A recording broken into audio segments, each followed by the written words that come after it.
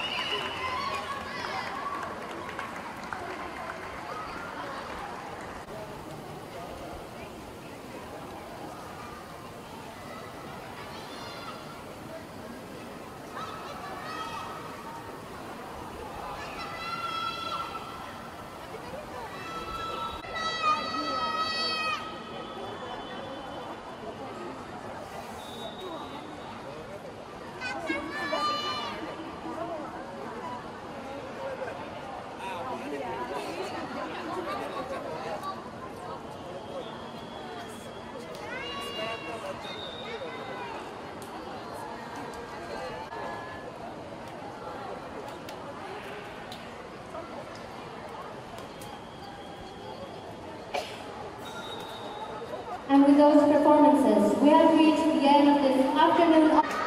Before we close the ceremony, we would like to ask Mr. Ario Gimo and other distinguished guests to join us for a group photo.